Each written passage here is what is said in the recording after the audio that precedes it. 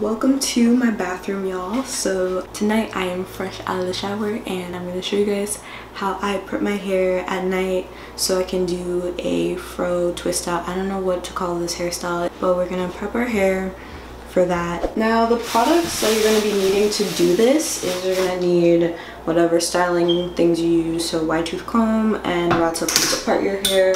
Uh, you're going to need water. Always use water in your hair. This is the only thing that can really moisturize your hair. Don't let anyone tell you otherwise. They're lying. Um, and then you need whatever styling product you want to use. I'm going to use the Curl Enhancing Smoothie. Um, this is going to act as my leave-in and my styling product. So I'm going to be using that. But use whatever styling product works for you. I'm to be sealing in the moisture with my oil and shea butter because y'all know I love LOC method. Hair ties and ribbon ties. Now that you've gathered all your supplies, you're ready to twist your hair. Okay, I lied. You're not ready to start yet. First, you want to part your hair, whatever part you want to style your hair in. I like to part my hair is I like to part it behind my ear and then down the side, splitting it in half, and then the other part's on the other side. And then the back, I'll show you guys how I part the hair in the back. But I already have a section out here. We're gonna first start by spritzing the section with water to moisturize our hair. I'm using warm water. Um, just because it opens the cuticle and allows that moisture to really get into your hair and getting rid of whatever shedding I have in my hair because I haven't done my hair in a week. Um, that's really bad, but it's been a rough week. And I'm taking a little bit of product, so this much, and I'm gonna work it into my hair from ends to root.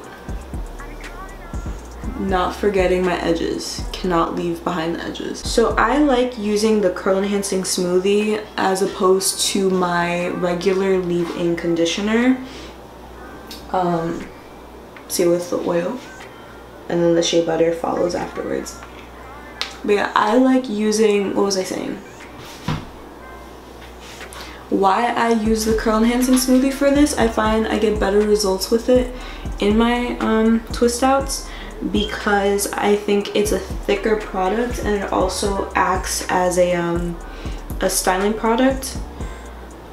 As compared to my normal leave-in conditioner that is just a leave-in conditioner where its purpose is just to moisturize your hair. It doesn't really have much setting properties so I find that I get better results and like better hold when I use the curl enhancing smoothie so that's why I'm not using my typical mane and tail right? Mane Choice? Mane Choice. That's why I don't typically use my Mane Choice for this style. Now I split that section into two and I section this out the way. This is not a flat twist tutorial. Um, if you guys want me to make a flat twist tutorial in the future, I can. But you're going to split that section into two, grab it, and then twist them around each other, bring it under and twist, and then just keep moving down.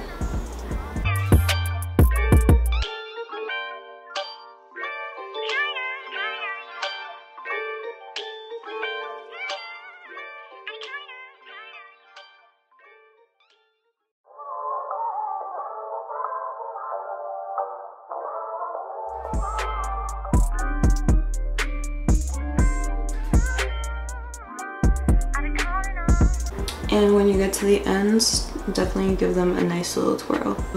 Those are the first two pieces of your twist.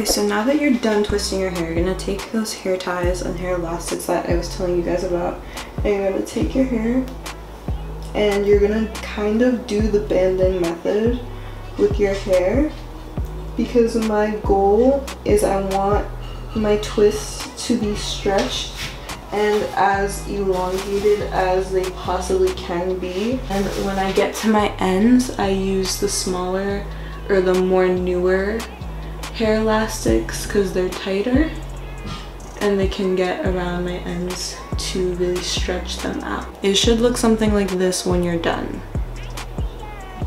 I'll stretch it out. Good morning guys. Now I'm to be taking you through the takedown of these twists.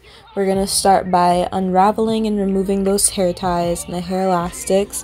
And then when you're taking down the twist to prevent friction causing frizz, you're going to want to first just lightly coat your fingertips with um, whatever hair oil you use and then start separating the twist.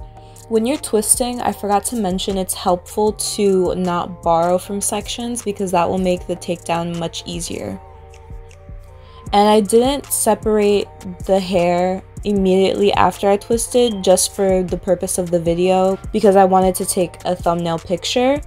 But in theory, if I were doing this off camera with no video, I would separate my hair and pin it down as I'm going. You'll see what I mean with the pins in, in a few, don't worry.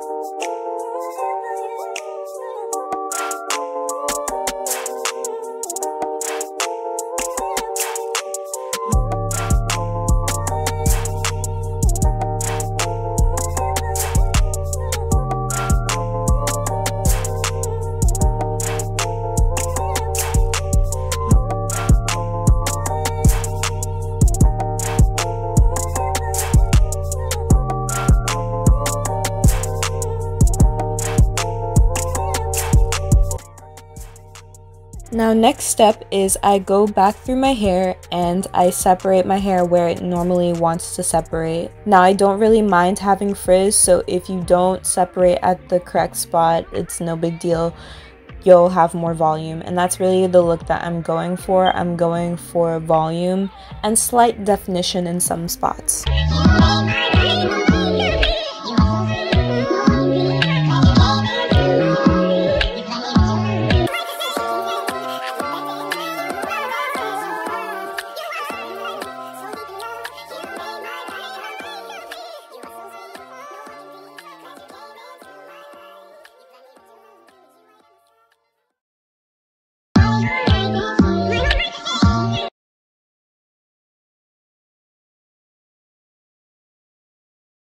Now it's time to add volume.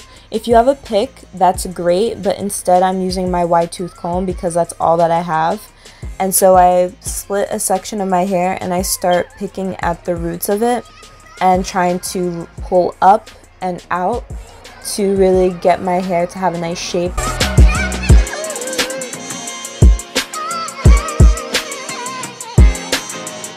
Now to stretch my hair because with short hair for me, I really want my hair to still look full and long.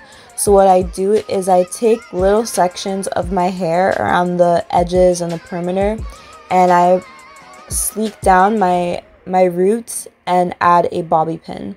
And you'll see me do this all around my hair and fluff it out.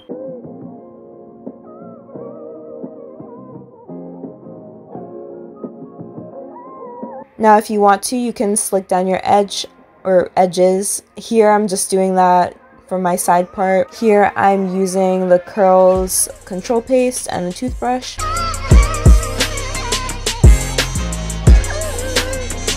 And then now you just see me fluffing out my hair, fixing the shape, because this is the shape that I'm going for with my hair, and now you're done. That's how I like to style my fro. It lasts, I like to wear it just for a day, but it can last for two to three days depending on how you preserve it. That's it for the video. Thanks for watching and keep clicking back to my channel. Bye!